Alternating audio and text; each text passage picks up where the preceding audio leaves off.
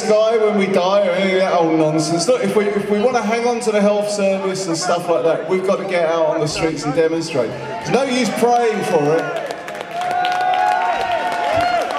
Whatever Cliff Richard says. It's a load of cobblers. They tried to, they tried to um, lock up Galileo, didn't they?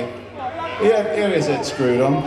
Anyway, he would have formed a punk group if he was around today. Am I digging a hole for myself? I'm allowing it. That's six minutes. This one's called Anti-Pope.